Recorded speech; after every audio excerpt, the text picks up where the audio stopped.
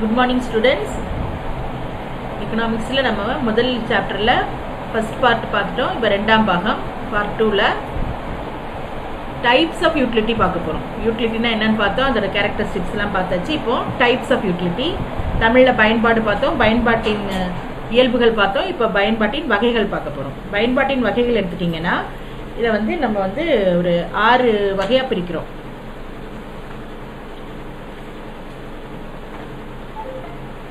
முதலாவது எடுத்துட்டோம்னா வடிவ பயன்பாடு. எந்த ஒரு பண்டமும் ஒரு பணியும் ஒரு குறிப்பிட்ட வடிவத்தில் கிடைக்கும் போது தான் நுகர்வோர் அதை வந்து பயன்பாட்டை பெறுகிறார்கள். எடுத்துக்காட்டா பார்த்தீங்கன்னா எந்த ஒரு பண்டமும் முடிவுற்ற பண்டமா கிடைக்கணும். இப்போ பருத்தி இருக்கு. இப்போ பருத்தி மூலப்பொருளா இருக்கும்போது அது நுகர்வோருக்கு ஒரு பயனையும் தராது. அந்த பருத்தியை வந்து நம்ம துணியாக மாற்றும் பொழுது தான் அது நுகர்வோர் என்ன செய்கிறாங்க பயன்பாட்டை பெறுறாங்க. இதுதான் வடிவ பயன்பாடு. அண்டர்லைன் பண்ணி வச்சுக்கோங்க. அது எந்த ஒரு பொருளும் முடிவுற்ற பொருளா இருக்கும்போது தான் அது வடிவம் கிடைக்கும் பொழுது அது என்ன ஆகுது பயன்பாட்டை பெறுகிறார்கள் முதலாவது form utility raw materials in their original form may not purchase utility for a consumer அது வந்து கன்சூமருக்கு முடிவில்லாம இருக்கும்போது அது எந்த விதமான பயனும் கிடையாது பட் இந்த the change forms as they become finished products example cotton cotton as raw மெட்டீரியல்னா அதனால ஒரு யூஸும் இல்லை but as it gets a new form as a cloth it yields the consumer utility ரெண்டாவது பாத்தீங்கன்னா கால பயன்பாடு. இப்ப கால பயன்பாடு எடுத்துட்டீங்கன்னா ஒரு ஒரு ஒருவரிடமிருந்து இன்னொருத்தருக்கு ரத்தத்தை தானமா பெறுகிற போது அந்த நோயாளி பயன்பாடு பெற முடியாது. ஆனா அந்த சிகிச்சையின் போது இந்த ரத்தத்தை அவங்களுக்கு செலுத்துறாங்க பாருங்க. அந்த நேரத்துலதான் அவர் வந்து இந்த பயன்பாட்டை பெறுகிறார். ஒரு sick man derives time utility from blood not at the time of its donation but only at the operation time when it is used. எப்போ அதை யூஸ் பண்றோமோ அப்பதான் அவர் அதை பயன்பாட்டை பெறுகிறார் அதான் டைம் யூட்டிலிட்டி அதான் கால பயன்பாடு. அடுத்து மூணாவது பாத்தீங்கன்னா இட பயன்பாடு. இப்போ ஒரு மா ஒரு மாணவன் ஒரு புத்தகம் தயாரிக்கிற இடத்துல அவன் வேலை செய்யறான் அப்போ அவனுக்கு வந்து எந்த விதமான பயன்பாடும் பெற போறது இல்லை ஆனா அந்த புத்தகத்தை அவன் வந்து கல்வி கற்கிற இடத்துல அந்த புத்தகத்தை படிச்சு அதன் மூலமா அறிவை பெறுறான் பாருங்க. அந்த நேரம் தான் அவன் வந்து அது பயன்பாட்டை அடைகிறான். இதுதான் வந்து இட பயன்பாடு. பிளேஸ் யூட்டிலிட்டியில சொல்லும்போது மூணாவது இது place utility a student derives place utility from a book not at the place of its publication ஒரு புக்கை பப்ளிஷ் பண்றது போது அவனுக்கு எந்த விதமான யூஸும் கிடையாது. But only at the place of his education during that time only he got a place utility அடுத்தது சேவை பயன்பாடு. நாலாவது. முதல்ல வந்து வடிவ பயன்பாடு பார்த்தோம் கால பயன்பாடு இட பயன்பாடு இப்ப சேவை. இது வந்து சர்வீஸ் யூட்டிலிட்டி அப்படின்றோம். சேவை பயன்பாடு. ஒரு நுகர்வோர் வந்து ஒரு தேவையான நேரத்துல தேவைப்படுகிற பணியினை பெறும்போது தான் அந்த சேவை பயன்பாடு அவரை அடையுது. உதாரணம் சேவை பணியை வழக்கு தொடுத்தவர் வழக்கு வழக்கறிஞரிடமும் நோயாளி மருத்துவரிடமும் பெறுகிறார்கள் An individual consumer derives service utility from a service made available at the time. For example, எடுத்துட்டோம்னா clients obtain service utility from their lawyers, patients derive service utility from the doctors. இந்த ரெண்டு பேரும் அவங்களோட சேவையை கொடுக்கும் பொழுதுதான் நுகர்வோர் அந்த பயனை பெறுகிறார்கள் அதான் சர்வீஸ் யூட்டிலிட்டின்றோம் சேவை பயன்பாடுன்னு சொல்றோம். அடுத்து ஐந்தாவது பாத்தீங்கன்னா உடைமை பயன்பாடு. ஒரு மாணவன் வந்து ஒரு புத்தக விற்பனையாளரிடமிருந்து ஒரு புத்தகம் அல்லது ஒரு டிக்ஷனரி ஏதோ வாங்கும்போது வாங்கும்போது மட்டும்தான் அதோட உடைமை பயன்பாடை பெறான் சும்மா பார்க்கும்போது இல்ல. When student buys buys book or or from dictionary book seller then only it gives utility utility. அதான் உடைமை பயன்பாடு. அடுத்து சிக்ஸ்த் பாயிண்ட் பாத்தீங்கன்னா நாலேஜ் யூட்டிலிட்டி அறிவு பயன்பாடு. அறிவு பயன்பாடுன்றது ஒரு குறிப்பிட்ட ஒன்றை பத்தி பெறுகிற அறிவு. ஒரு பொருளை பற்ற தகவல் நமக்கு வேணும்னா அந்த தகவல் வந்து நமக்கு வந்து நம்ம சீர்படுத்துவதாக அமைந்தால்தான் அதுல இருக்க பயன் நம்ம பெற முடியும். It is the utility derived by having knowledge of a particular thing advertisement serves as source of information அந்த நாலேஜ் அட்வர்டைஸ்மெண்ட் வந்து ஒரு பொருளுடைய தன்மையை வந்து மற்றவங்களுக்கு விளக்குது. அப்பதான் அதோட அது வந்து பயன்பாடு அடைய முடியுது. Advertisement serves as source of information on an object the knowledge utility இதோட இந்த இதோட பயன்பாட்டோட வகைகள் முடிஞ்சிச்சு. இப்போ வந்து பாத்தீங்கன்னா பயன்பாட்டை அளவிடுதல். மனிதனோட விருப்பம் நுகர்வின் போது நிறைவடையுது. இப்ப நுகர்வு பெறும் பயன்பாடும் அது வந்து நம்ம என்ன சொல்றோம்னா யூட்டில்ஸ் அப்படின்றோம் என்று அளவிடப்படுகிறது. இந்த யூட்டில்ஸ் என்பது ஒரு ஒரு ஒரு பயன்பாட்டின் ஒரு அளவீடு. ஒரு நபர் வந்து எவ்வளவு ஒரு ஒரு அழகு பொருள்ல இருந்து பெறும் பயன்பாட்டிற்கு சமமா விலை தருகிறார். இதுதான் இந்த பயன்பாட்டை அளக்கும் அளவுகோலாக பணத்தை நம்ம என்ன செய்யறோம் இதை வந்து மறைமுகமா பயன்படுத்தலாம் அப்படின்னு மார்ஷல் கூறியிருக்காரு.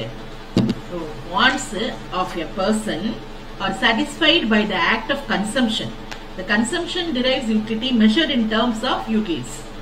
அது அப்படின்னா என்னன்னா இந்த individual pays price for the unit of the good equal to the utility derived அவன் எவ்வளவு தூரம் அந்த இதனால சாட்டிஸ்ஃபைட் ஆகிறான்? எப்படி தெரிஞ்சுக்கிறான்? அதுக்கு என்ன விலை கொடுக்குறான்?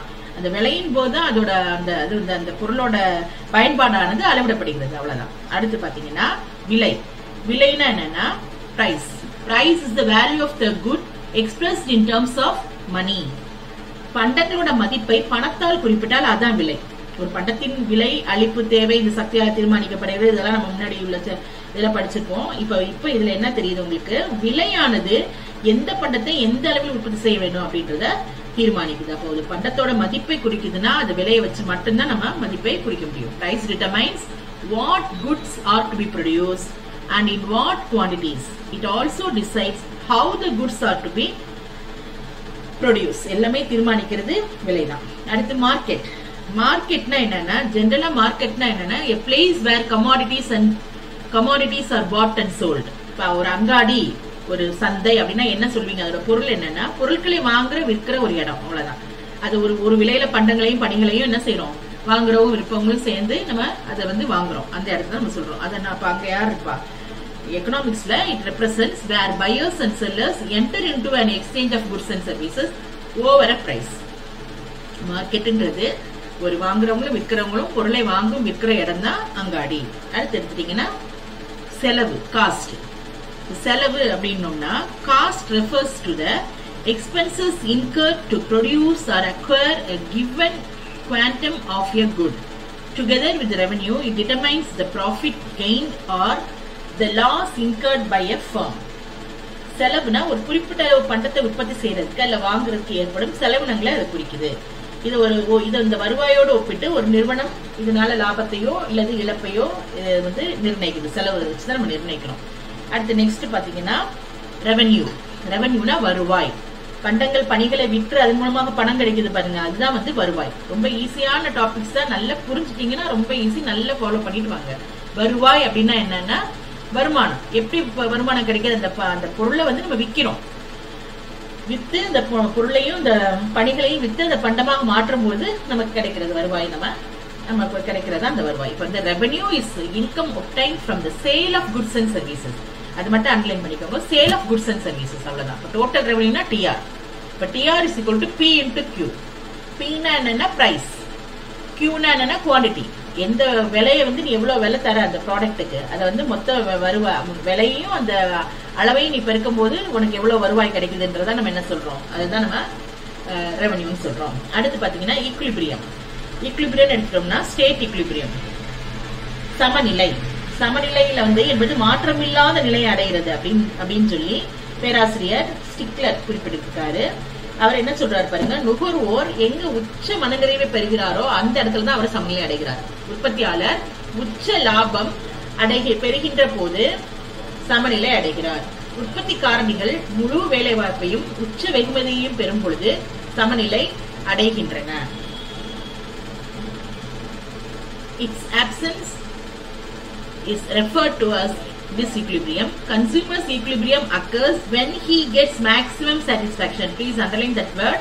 Maximum satisfaction ரொம்ப முக்கியமான ஒரு இது எந்த இடத்துல அவர் முழு மனநிறைவை பெறுகிறாரோ மேக்ஸிமம் சாட்டிஸ்பாக்சன் அடைகிறாரோ அந்த இடத்துல தான் எனது ஈக்குலிபிரியம் அதுதான் அந்த அந்த பாயிண்ட் தான் எனது ஈக்குலிபிரியம் லெவல் அந்த மனநிறைவை அடைகிற அந்த இடத்துல தான் ஈக்குலிபிரியம் லெவல் தான் நிலையான சமநிலை அடுத்து நெக்ஸ்ட் பாத்தி அதுல பா- அதுலயே பாத்தீங்கன்னா where static equilibrium is based on given and constant prices quantities income and uh, income technology population etc இப்ப இந்த டயக்ராம் இருக்கு பாருங்க. இதுல இந்த டயக்ராம் பாத்தீங்கன்னா இதுல என்ன இருக்கு? இந்த சைடு பாருங்க. எக்ஸ் ஒய் ஆக்சிஸ் எக்ஸ்ன்றது வந்து பிரைஸ் எக்ஸ்ன்றது குவாண்டிட்டி டிமாண்ட் ஒய்ன்றது பிரைஸ் இப்ப இதுல பாத்தீங்கன்னா டின்னு ஒரு வரை வளைகோடு போட்டிருக்கோம். டி அதான் தேவை கோடு எஸ்ன்றது அழிப்பு கோடு தேவை கோடு இடமிருந்து வலம் வருது சப்ளை கோடு கீழ இருந்து மேல் நோக்கி போகுது. இந்த ரெண்டுமே கரெக்டா ஈன்ற புள்ளியில கிராஸ் ஆகுது பாருங்க. அந்த ஈன்ற புள்ளியில தான் அவர் வந்து யாரு சமநிலை நுகர்வோர் சமநிலை அடைகிறார். அப்ப e இ பாயிண்ட் தான் ஈக்குலிபிரியம் அதான் வந்து ஈக்குலிபிரியம் பாயிண்ட் இது தனி சமநிலையை நம்ம இதுல நம்ம பாக்குறோம் தனி சமநிலை அல்லது பகுதி சமநிலை. பர்டிகுலர் equilibrium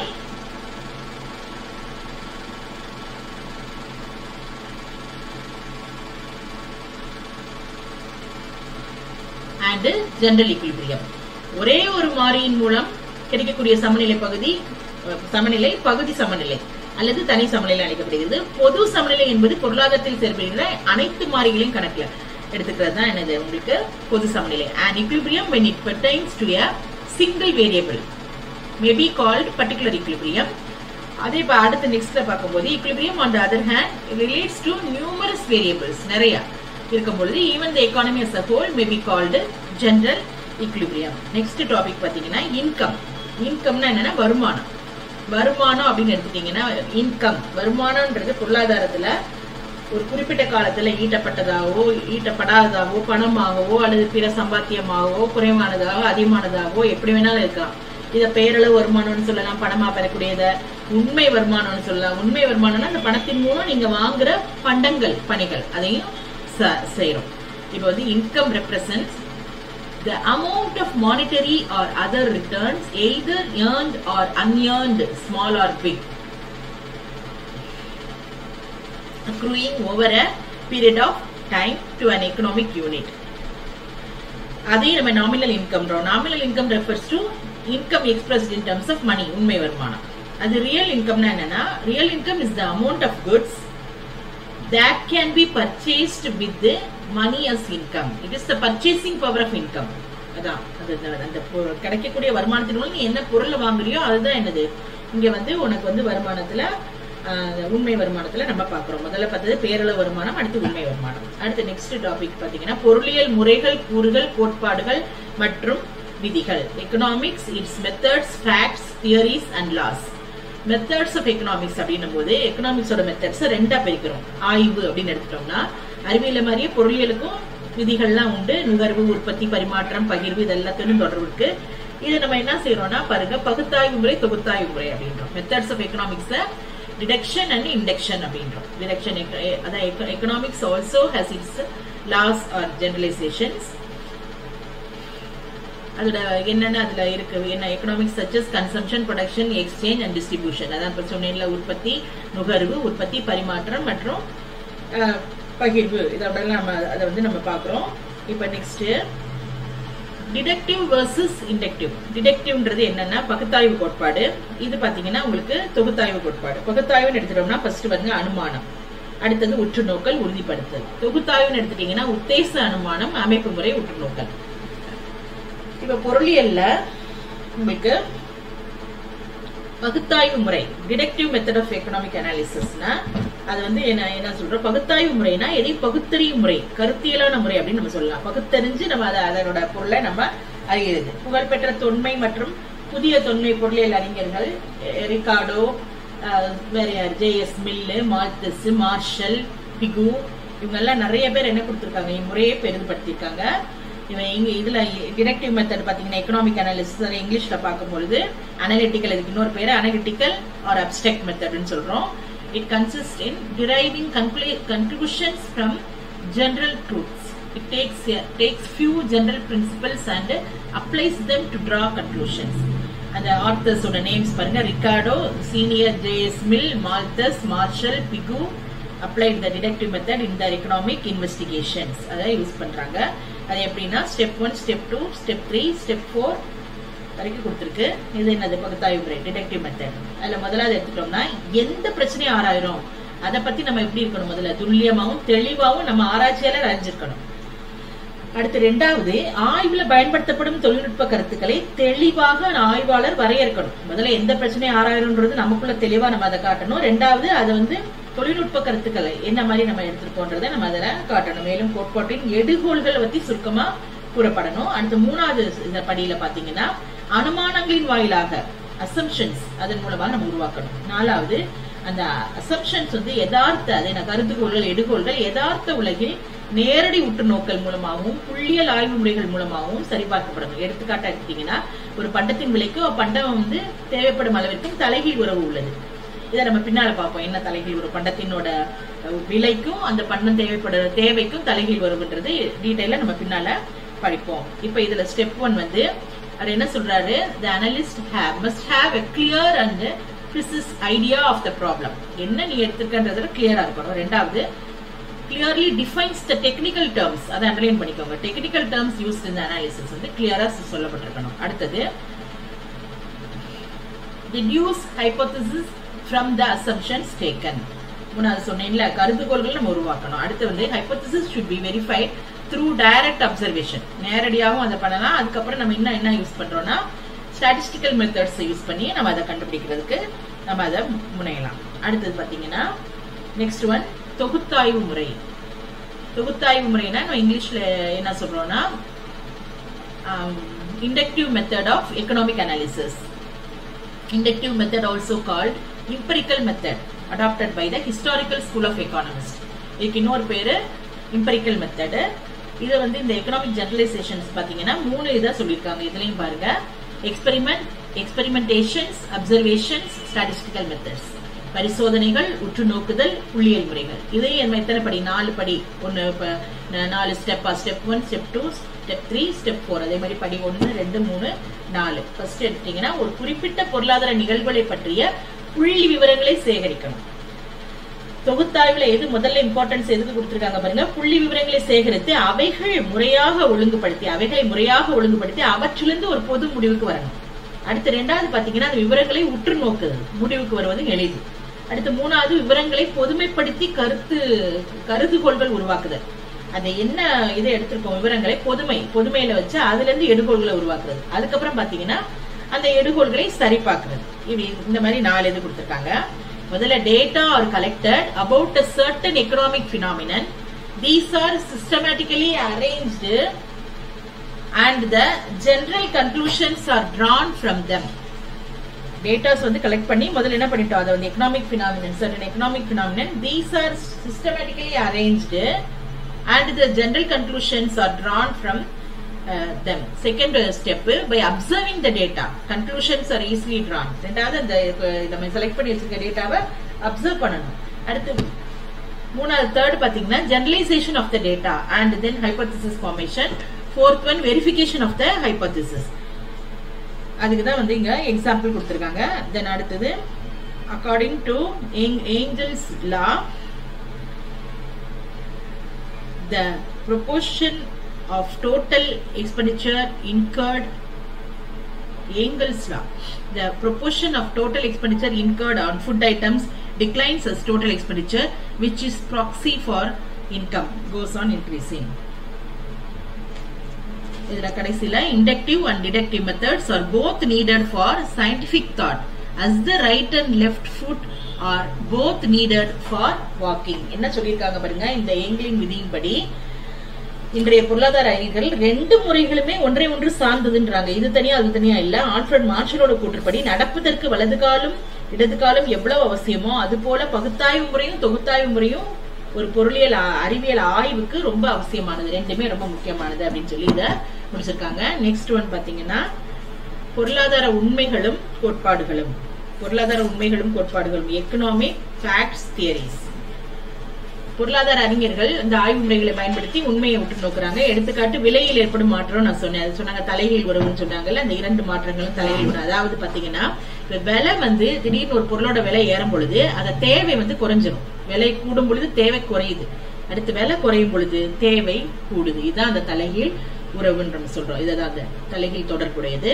அதாவது விலை அதிகரிக்கும் போது பட்டத்தின் தேவை அளவு குறையுது. இதை தேவை கோட்பாடு சொல்லுது. இதை தான் நம்ம ஆங்கிலத்தில் இங்கிலீஷ் மீடியம் பிள்ளைங்களுக்கு நம்ம பார்க்கும்போது என்ன சொல்றாங்க இதில் பாருங்க the economist observe fact such as changes in the price of a commodity Similarly, the quantity demanded of that commodity also varies. When the price increases, quantity demanded of that commodity decreases and vice versa.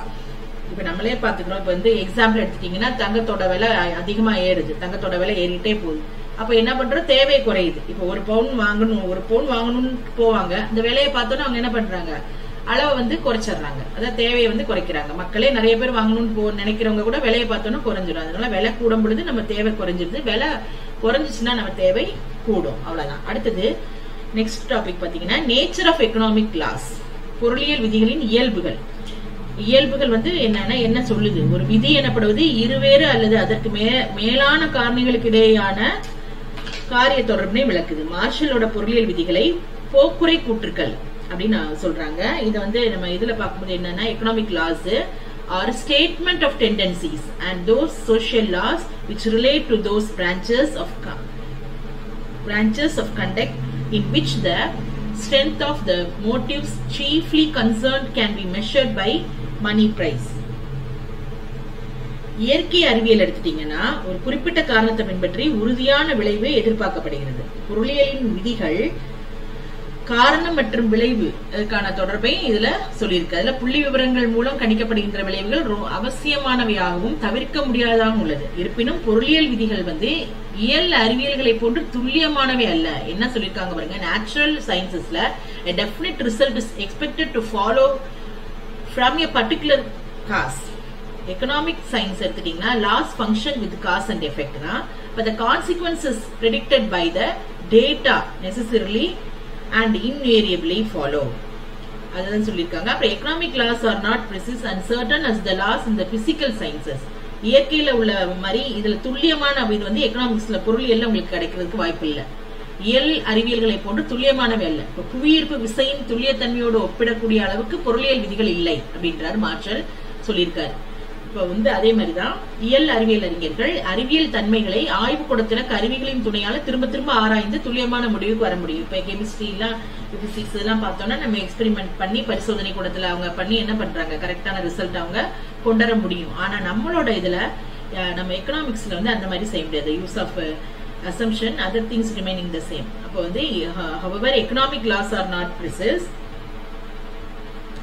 பார்த்தாச்சு. Next one இதுல பாத்தீங்கன்னா துல்லியமான முடிவுகளுக்கு வர முடியறதுக்கு மாறுகின்ற மனநிலை கொண்ட மனிதர்களின் நடத்தைகளை கொண்டு எதிர்பார்க்கப்படும் கணிப்பு தவறானதாக அமையும்.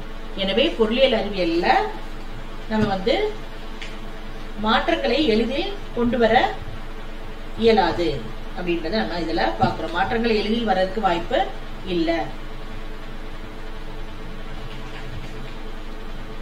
அடுத்தது பாருங்க நுண்ணி நுண் பொருளியலின் முக்கியத்துவம் அப்படின்னு கொடுத்துருக்காங்க. நுண் பொருளியல் importance of micro economics importance of micro economics நுண் பொருளியலின் முக்கியத்துவம். மைக்ரோ எக்கனாமிக்ஸ்ன்றது நுண் பொருளியல் அதுல வந்து அதோட முக்கியத்துவத்தை இங்க கொடுத்துருக்காங்க. ரொம்ப முக்கியமானது. To understand the operation of an economy ஒரு பொருளாதாரத்தின் செயல்பாட்டை அறிந்து கொள்ள நுண்பொருளில் உதவுது. ரெண்டாவது எடுத்துட்டீங்கன்னா பொருளாதார கொள்கைக்கான கருவிகளை தருது. To provide tools for economic policies கொள்கைகள் கொள்கைகள் தயாரிக்கிறதுக்கு கருவிகள். அது அடுத்தது தேர்டு பொருளாதார நலனின் நிலையை பற்றி அறி ஆராய்கிறது. To examine the condition of economic welfare அதோட நிலை எப்படி இருக்குன்றது ஆராயுது. அடுத்தது வளங்களை திறம்பட பயன்படுத்த உதவுது. Efficient utilisation of resources resources இருக்கு அதை கரெக்டா நல்லா ஃபுல்லா யூஸ் பண்றோமா? எஃபிஷியன்ட் யூட்டிலைசேஷன் ஆஃப் ரிசோர்சஸ் வளங்களை திறன்பட பயன்படுத்த உதவுது. அடுத்து பாத்தீங்கன்னா யூஸ்ஃபுல் இன் இன்டர்நேஷனல் ட்ரேட் பன்னாட்டு வணிகத்துக்கு பயன்படுது. இந்த நுண்பொருளியல்ல வந்து என்ன முக்கியத்துவம் நம்ம பார்த்துட்டு இருக்கோம். பன்னாட்டு வணிகத்துக்கு ரொம்ப உதவுது இது. அதை useful in international trade useful in decision making பயனுள்ள முடிவுகள் எடுக்கிறதுக்கு இது பயன்படுது. வளங்களை உத்தம அளவில் பங்கிட பயன்படுகிறது. Optimal resource allocation basis for prediction price determination முன்கணிப்பிற்கு அடிப்படையாக உள்ளது. விலை நிர்ணயம் செய்ய உதவுகிறது. நுண் பொருளியலோட முக்கியத்துவம் சொல்லி இங்க எத்தனை பாயிண்ட் ஒரு எட்டு நைன் பாயிண்ட்ஸ் இருக்கு. எல்லாமே ரொம்ப ஈஸியானது தான் இம்பார்ட்டன்ட் ஆனது கூட. அடுத்து அடுத்து எடுத்துட்டீங்கன்னா physical scientist carrying out controlled experiments in this laboratory can test the scientific class முன்ன சொன்னது இது. என்ன என்ன சொன்னா ஒரு அறிவியல் இது விதிகள் பொருளியல் விதிகளை நம்ம எப்பவும் பார்க்கும்பொழுது ஒரே மாதிரியா இருப்பதாக கணிக்க முடியாது. பொருளியல் விதிகளின் அலைகளோட விதிகளோடையும் குறிப்பிடலாம் அப்படின்னு பார்த்தோம். குறைவான காற்றழுத்தம் கொண்ட அலைக்கு பின்னால் அதிக உயரமான அலைகள் வரும் என்பதை உறுதியாக எப்படி நம்ம சொல்ல முடியும்? சொல்ல முடியாது.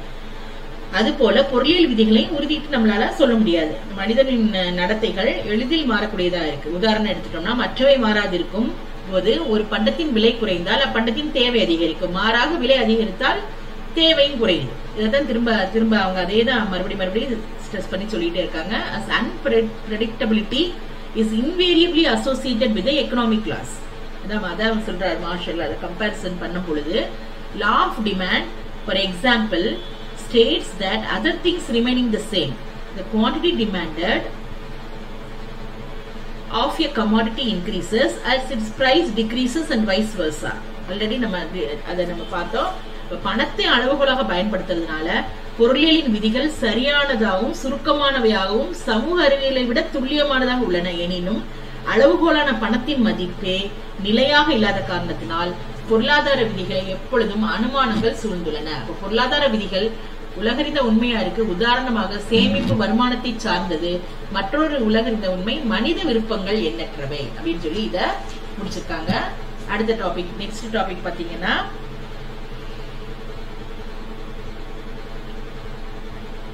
பொருளியலின் உட்பிரிவுகள்.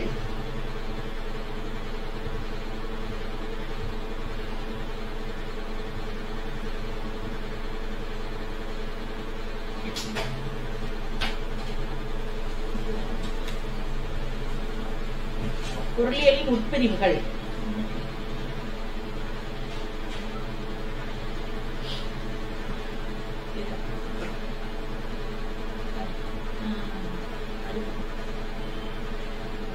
Subdivisions. எக்கனாமிக்ஸ் இட்ஸ் சப்டிவிஷன்ஸ் பொருளியலின் உட்பிரிவுகள். பொருளியலின் உட்பிரிவுகள் எடுத்தோம்னா economics has been divided into some branches. இது ரொம்ப இம்பார்ட்டன்ட் ஃபைவ் மார்க் கொஸ்டின் இதுல இருக்கு. என்னென்ன எத்தனை பிரான்ச்சஸா பிரிக்கிறாங்க பாருங்க. நுகர்வு உற்பத்தி பரிமாற்றம் பகிர்வு. இது நாலு வந்து பொருளியலின் உட்பிரிவுகள். பொருளியல்ல என்னென்ன இருக்கு உள்ள அப்படின்றத பார்க்கும் பொழுது இந்த இது நம்ம ரொம்ப முக்கியமானது கன்சம்ஷன் ஃபர்ஸ்ட் எடுத்துட்டீங்கன்னா நுகர்வு.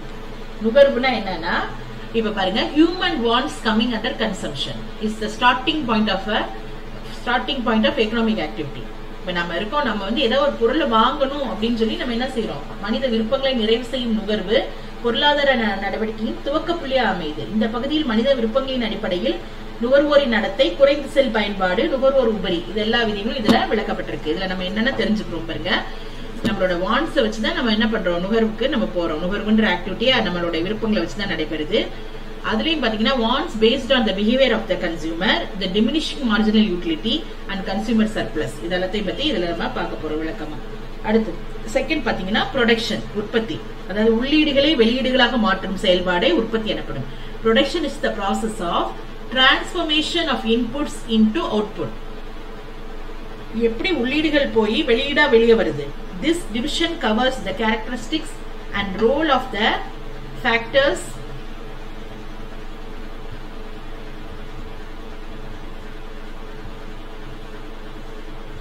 factors of production namely land labour capital and organisation இப்போ உற்பத்தின்னும் போது எப்படி வரும்னு சொன்னேன் நான் ஏற்கனவே உள்ளீடுகள் வெளியீடுகளா மாறுதுன்னா அந்த உள்ளீடுகள்ல என்னென்ன போடுறான் என்னென்ன இருக்கு பாருங்க. நிலம் உழைப்பு மூலதனம் தொழிலமைப்பு.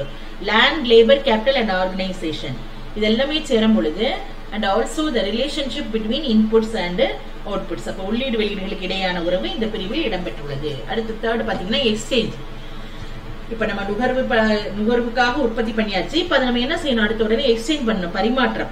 அங்காடிகள் அமைப்புகள்ல விலை தீர்மானிக்கப்படுவதோட தொடர்புடையது. இது எப்படின்னா exchange is concern with price determination in different market forms this division covers trade and commerce consumption is possible only if the produced commodity is placed in the hands of the consumer ஏன்னா அடுத்து என்னன்னா இதன் பிரிவு வர்த்தகம் மற்றும் வணிகத்தை உள்ளடக்கியது. உற்பத்தி செய்யப்பட்ட பண்டங்கள் நுகர்வோரின் கைகளுக்கு கிடைக்கின்ற பொழுதுதான் நுகர்வு சாத்தியமாகிறது. எப்படி போய் சேர்ந்து எக்ஸ்சேஞ்ச் ஆகி அது உற்பத்தியாளர் கையில இருந்து நுகர்வோர் கைக்கு வரணும். அதுதான் வந்து அப்பதான் அந்த நுகர்வு வந்து பூர்த்தி அடையுது அடுத்து பாத்தீங்கன்னா பகிர்வு distribution production is the result of the coordination of factors of production coordination of factors of production land labour capital எல்லாம் சேர்ந்த ஒரு கோஆர்டினேஷன் தான் என்னது?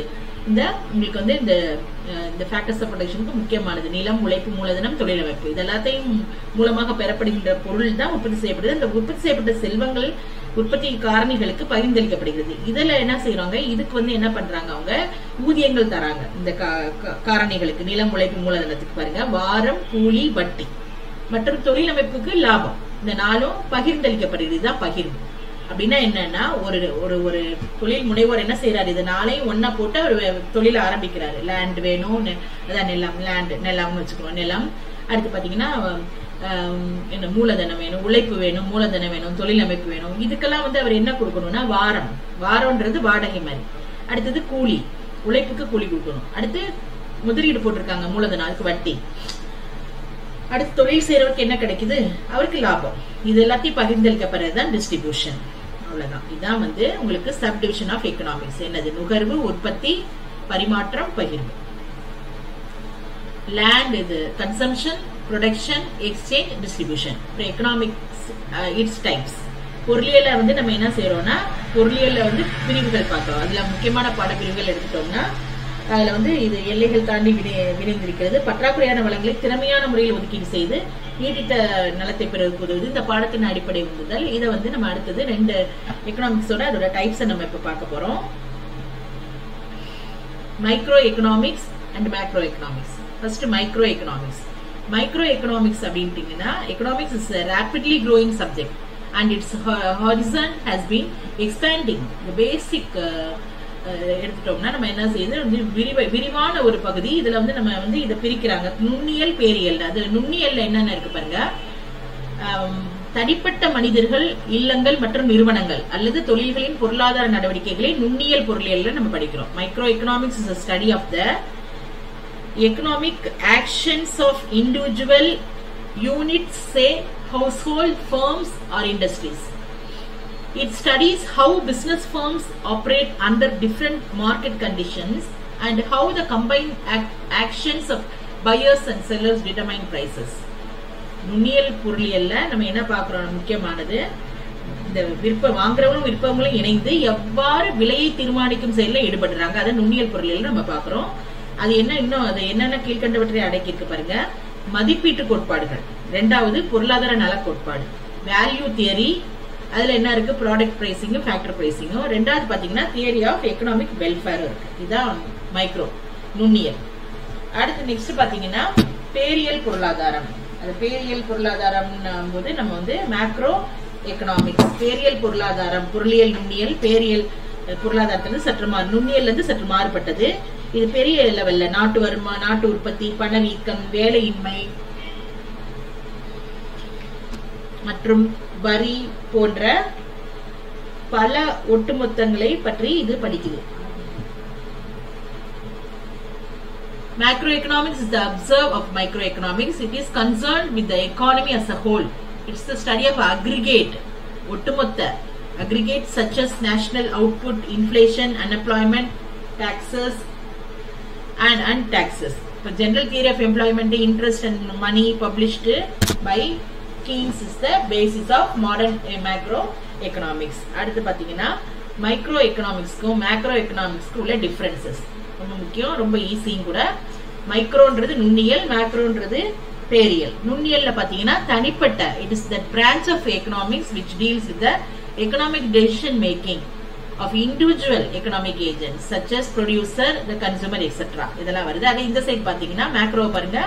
It is that branch of economics which deals with the aggregate averages of entire economy, whole economy, aggregate output, எல்லாமே ஒட்டுமொத்த இதுல பாக்குறோம் மொத்தமாக aggregate output national income aggregate savings investment everything அப்போ தமிழில் சொன்னோம்னா நம்ம தனிப்பட்ட பொருளாதாரம் சொல்லிட்டு பேரியல் பாருங்க முழு தொகுதியும் ஆராயும் பகு- பகுதிகள். மொத்த உற்பத்தி தேசிய வருவாய் மொத்த சேமிப்பு முதலீடு அவ்வளவு அதுல இருக்கு. அடுத்தது ரெண்டாவது பாயிண்ட் பாத்தீங்கன்னா it takes into account small components of the whole economy பொருளாதாரத்தின் சிறு பகுதிகளை மட்டும் கணக்கில் எடுத்துக்குது. பேரியல் பொருளாதாரம் takes into consideration economy of the country as a whole நாட்டின் முழு பொருளாதாரத்தையும் கணக்கில் எடுத்துக்குது. அடுத்து third point it deals with process of price determination in case of individual products and factors of production இங்க மேக்ரோ பாத்தீங்கன்னா it deals with general price level in any economy இப்பிரிவு தனி ஒரு பண்டம் காரணியின் விலையை மட்டும் தீர்மானிக்கிறது விலை எவ்வித முறையில் நிர்ணயிக்கப்படுகிறதுன்னா அதை அதை எடுத்துட்டோம்னா பொருளாதாரத்தின் பொது. இது தனி அது பொது அவ்வளவுதான். அடுத்து பாருங்க இது விலை கோட்பாடு என்று அழைக்கப்படுகிறது இது வருவாய் கோட்பாடு என்று அழைக்கப்படுகிறது it is known as price theory it is also known as the income theory அடுத்து லாஸ்ட் பாயிண்ட் பாத்தீங்கன்னா தனிப்பட்ட நுகர்வோர் உற்பத்தியான உற்பத்தியாளரது உத்தம அளவு குறிக்கோளுடன் தொடர்புடையது. அடுத்தது இது வளர்ச்சி முறையின் உத்தம அளவுடன் தொடர்புடையது. It is concerned with the optimisation goals of individual consumers and producers it is concerned with the optimisation of the growth process of the entire economy இதான் வந்து ரெண்டோடைய டிஃபரன்சஸ் நம்ம இதுல பாக்குறோம் அடுத்து நெக்ஸ்ட் பன்னாட்டு பொருளாதாரம் இன்டர்நேஷனல் எக்கனாமிக்ஸ் பன்னாட்டு பொருளாதாரம். எந்த ஒரு நாடும் தனிப்பட்ட நிலையில வளர்ச்சி அடைய முடியாது. எந்த ஒரு நாடு மட்டும் இருந்து தன்னா தானே எல்லாத்துலயும் வளர்ச்சி அடையுதுன்றது நம்ம சொல்ல முடியாது. அப்ப என்ன செய்யுது நாடுகள் ஒவ்வொரு நாடு என்ன பண்ணுது மற்ற நாடுகளோடு தொடர்பு கொண்டுள்ளது. இதுதான் பன்னாட்டு பொருளியல் அப்படின்றத இது விளக்குது இன்டர்நேஷனல் எக்கனாமிக்ஸ் இந்த modern world no country can grow in isolation every country is having links with other countries அதை அண்ட்லைன் பண்ணிக்கோங்க. Links with other countries through foreign capital investment and international trade அடுத்த next one public economics public finance அப்படின்னு சொல்லலாம். பொது நிதி பொருளாதாரம். அப்படின்னா என்னன்னா பொது நிதி வருமானம் அல்லது வருவாயை அதிகரிக்க பொது அதிகார அமைப்புகள் ஒன்றோடொன்று இணைந்து மேற்கொள்ளும் நடவடிக்கையே தான். இதுல என்னென்ன வருது பாருங்க? பொது செலவு பொது வருவாய் பொது கடன் நீதி நிர்வாகம். இதுல அண்டர்லைன் மட்டும் படிக்கோங்க இதை மட்டும். பொது செலவு பொது வருவாய் பொது கடன் நிதி நிர்வாகம் இதெல்லாமே அதுல வருது the scope of public public finance is concerned with the income or revenue raising and expenditure incurring activities of the public authorities and with the adjustment of the one with the other public expenditure public revenue public debt financial administration and federal finance அடுத்து next one வளர்ச்சி பொருளாதாரம் developmental economics the countries have been classified into developed developing underdeveloped. Countries எடுத்துட்டோம்னா அது எப்படி பிரிக்கிறோம் பாருங்க. தலா வருமானம் மனித மேம்பாட்டு குறியீடு மகிழ்ச்சி குறியீடு ஆகியவற்றின் அடிப்படையில நாடுகளை வந்து வளர்ச்சி அடைந்த நாடுகள் வளர்ந்து வரும் நாடுகள் பின்தங்கிய நாடுகள் அப்படின்னு பிரிக்கிறோம். வளர்ச்சி அடைந்த நாடுகள்னா நல்ல முழுவதுமாக வளர்ச்சி அடைந்த நாடுகள். டெவலப் டெவலப்டு அடுத்தது டெவலப்பிங் இன்னொன்று அண்டர் டெவலப்டு அது எதை வச்சு சொல்றோம் பாருங்க per capita income human development index and happiness index The development economics deals with features of developed nations, obstacles for development. Economic and non-economic factors influencing development, various growth models and strategies. அடுத்த next one health economics health எக்கனாமிக்ஸ்னா சுகாதார பொருளாதாரம் பொருளாதாரத்திலேயே செயல்முறை பொருளாதாரத்தின் ஒரு பகுதி இது இது சுகாதார குறியீடுகள். நோய் தடுப்பு நோய் நீக்கும் நடவடிக்கைகள் மருத்துவ ஆராய்ச்சி கல்வி சா- கிராமப்புற சுகாதார பணி மருந்து விலை கட்பா- கட்டுப்பாடு பிரசவத்திற்கு பின்னரான தொடர்பான பாதுகாப்பு மகப்பேறு மற்றும் குழந்தை சுகாதாரம் சுகாதாரத்திற்கான வரவு செலவு திட்ட ஒதுக்கீடு இது அவ்வளோத்தையும் இந்த இதுல இந்த சுகாதார பொருளாதாரத்துல நம்ம பார்க்கலாம். Health economics is an area of applied economics it covers health indicators preventive and curative measures. வருமுன் காப்போம். ப்ரிவென்டிவ் அண்ட் கியூரேட்டிவ் கியூர் எப்படி பண்றது அதுவும்? அடுத்த இதுல medical research and education rural health mission drug price control neonatal care maternity and child health budgetary allocation for health etcetera அடுத்து பாத்தீங்கன்னா சுற்று சுற்றுச்சூழல் பொருளாதாரம். Environmental economics. Depletion of natural resources stock and pollution result from rapid economic development.